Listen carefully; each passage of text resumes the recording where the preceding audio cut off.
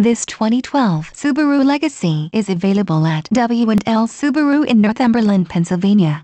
Features include airbag deactivation, dual airbags, side airbag system, and much more. Visit Autobooknow.com for more details.